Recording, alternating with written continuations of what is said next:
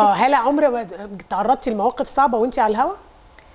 آه, آه طبعا. يوم الحريق بتاع التلفزيون. آه.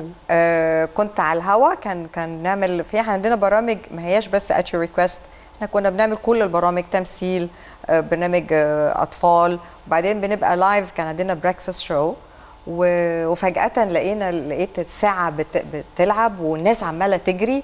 وبعدين ظباط كبار ماشيين. ده كان سنة كام لو فاكرة؟ لا كان تمانينات أو آه. تمانينات حاجة كده. آه وكنت على الهوا.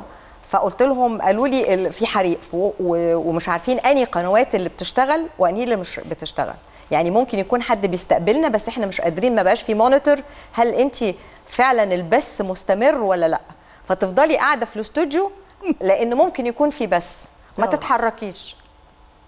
وأنا شايفة دخان وظباط ناشئ والمفروض إن أنا أكمل live البرنامج ال breakfast show فقاعدين وبنحط ال music وقاعدين يقولوا مش عارفين هل الناس فعلا معانا ولا لا لأن التليفونات اتقطعت والدنيا متدربكة.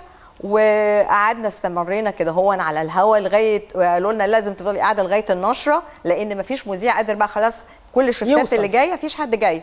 تفضلي قاعدة بقى طول النهار. تملي. تملي.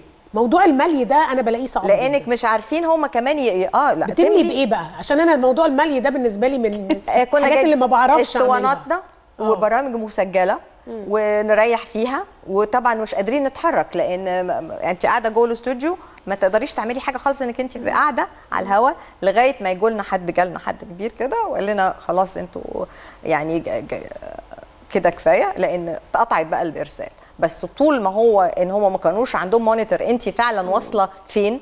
ما يقدروش إنهم يقطعوا.